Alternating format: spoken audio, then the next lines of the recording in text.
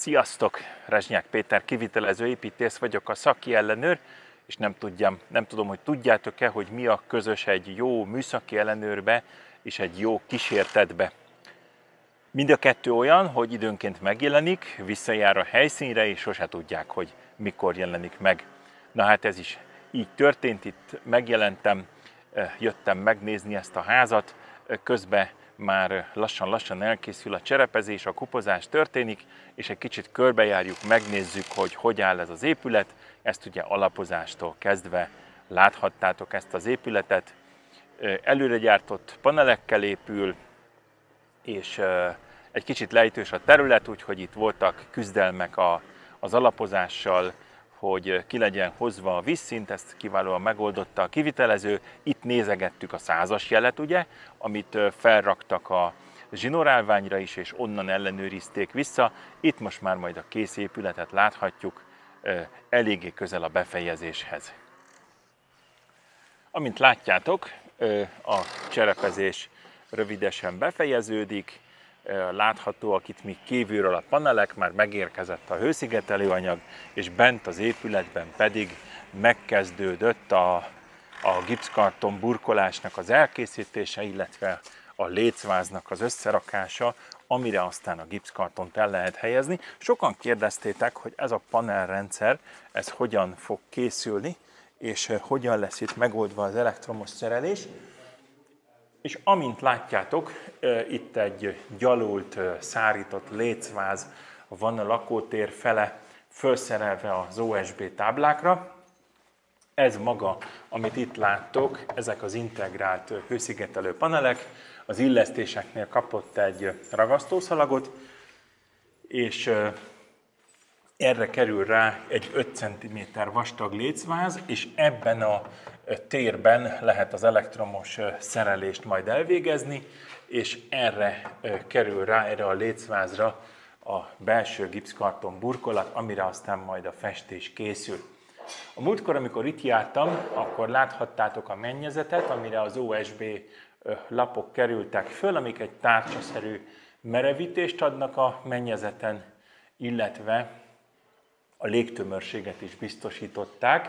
Ugye ezeket ragasztották, éltömítették ezeket a lapokat, majd a megnézhetitek a korábbi videót, belinkelem ide, meg tudjátok nézni.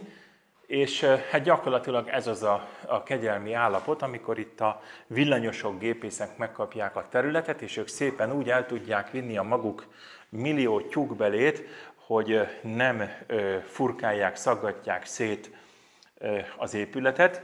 Itt lehet látni, hogy a bitumenes szigetelés is elkészült, és ehhez a bitumenes szigeteléshez csatlakoztatva lett a fal szerkezet. Itt van egy öntapadós bitumenes szalag, hát ez egy majdnem 30 centi széles szalag.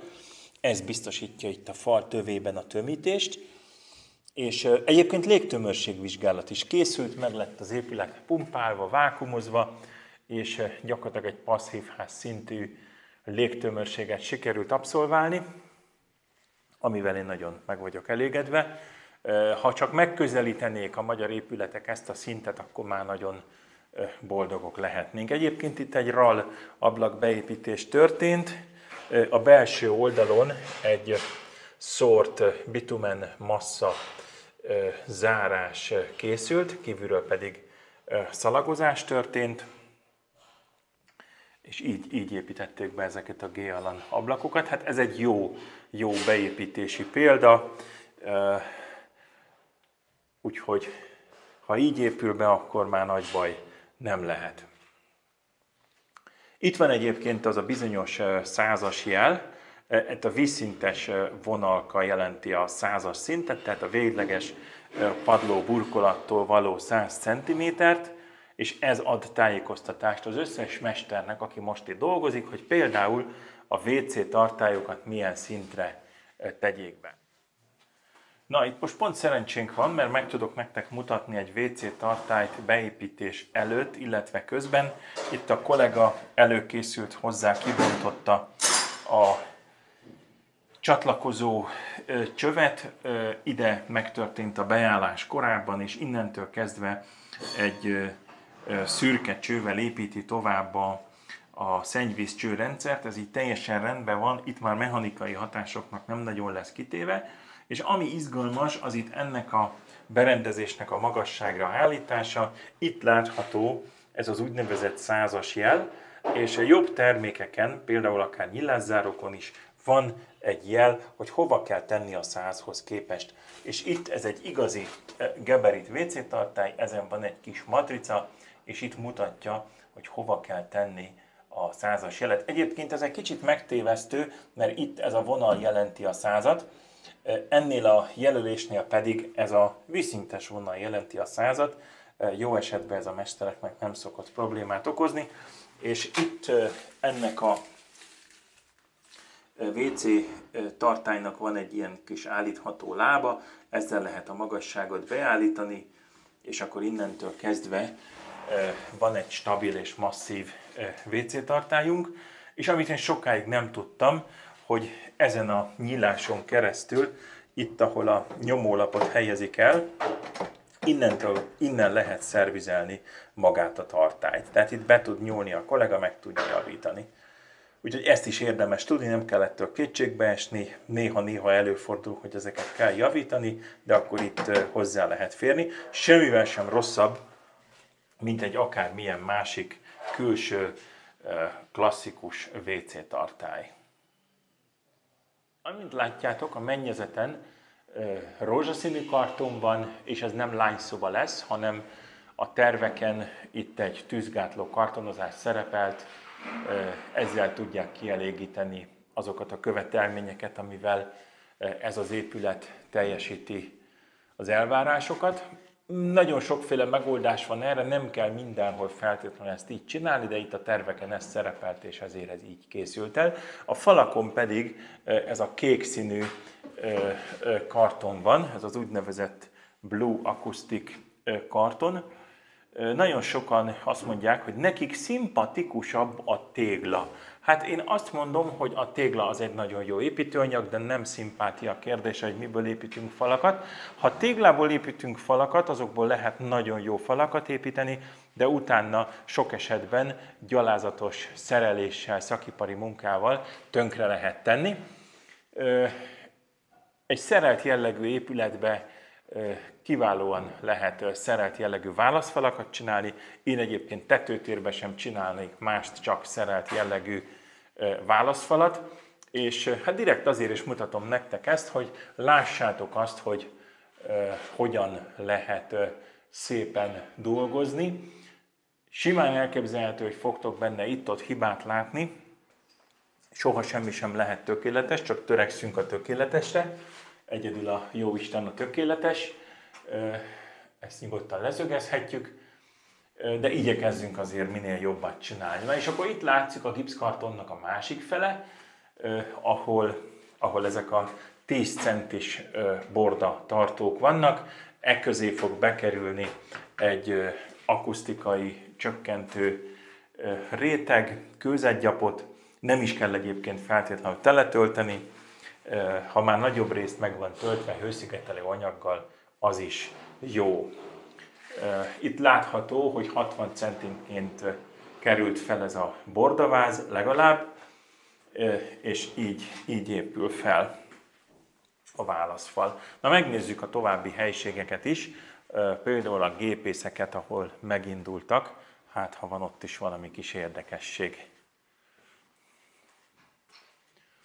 Ugye itt már vannak jelölések, hogy például a klímának a beltéri egységei hova kerülnek, hol lesznek áttörések, és igazából mindenhol a gipszkartonnak az egyik oldala van megszerelve, azért, hogy lehessen a, a szereléseket csinálni. Ahogy itt lehet látni.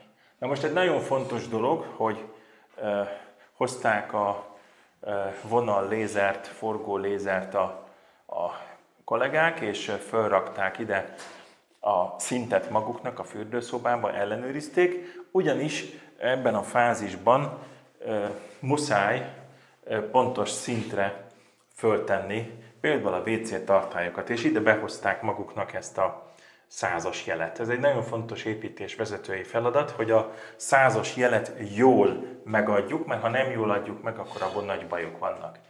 És akkor szépen ide följelölésre került a, a csaptelepnek a két pontja. Ez egy kicsit szerencsétlen, mert pont itt van benne egy borda, viszont legalább stabil lesz. Úgyhogy itt a két fali korongot azt majd nagyon ügyesen kell elhelyezni, hogy ezek egyrészt jó pozíción legyenek, másrészt stabilan föl legyenek szerelve. Itt ugye zöld karton van, ami jobban bírja a párát, minden további nélkül lehet fürdőszobába rakni, de természetesen kell majd vízszigetelést is csinálni, mert anélkül nem lehet fürdőszobát építeni. Hát így röviden ennyi lett volna, amit nektek akartam mutatni most itt ebbe a fázisba. Én azt gondolom, hogy ez egy elég érdekes dolog. Amúgy is sokan kérdeztétek, hogy például hogyan lesz itt kialakítva a falszerkezet. Hát így. Ez is egy jó megoldás, ez a előszerelt kivitelezés. Amit csak le lehet gyártani üzembe, az gyártsunk le. Minél szereltebb egy építkezés, annál gördülékenyebben tud menni. Nyilván megvan a helye a hagyományos tégla rendszerű építkezésnek is, ezt ide most felesleges bekommentelni, meg azt is, hogy csak is tégla és minden más az nem jó. Én nem vagyok egyiknek sem a fogadatlan prókátora, vannak esetek, én azt gondolom, mint amilyen például most is a túlpörgetett kivitelezés volt, hogy igenis nagyon jó dolog előregyártásban gondolkozni, és azt gondolom, hogy a szakemberi inség az egyre inkább ezt fogja előtérbe hozni, hogy igenis érdemes előregyártásban is gondolkozni. Hát ezt persze még lehet fokozni, hogy még, még kisebb átfutási idővel tudjon egy építkezés megvalósulni, mert hát sajnos ezen az építkezésen is ugyanazok a villanyszerelők és épületgépészek fognak dolgozni, akik máshol. Tehát, hogyha vannak szűk keresztmetszetek, azért azok ettől nem fognak megszűnni, és aztán majd meglátjuk azt is, hogy itt ezen a mennyezeten hogyan fog kialakulni a végső álmennyezet, hogy fog alatta elmenni az elektromosság, légtechnika, illetve hogyan lesz a, a, a, az álmennyezet ide végül beszerelve, úgy, hogy nem lesz átluggatva ez a mostani mennyezeti réteg, ami itt van. Hát remélem hasznos volt, bízom benne, hogy találtatok benne érdekes dolgokat, úgyhogy ez lett volna a mai szakjelenő tartalom, paneles építés, és szerencsére most itt szép képsorokat tudtam nektek mutatni. Egy olyan épületben, ahol még légtömörségmérés is készült, ami kiváló lett. Sziasztok, építkezzetek jól! Ez volt a mai szakjelenő tartalom, és Isten áld a tisztes ipart!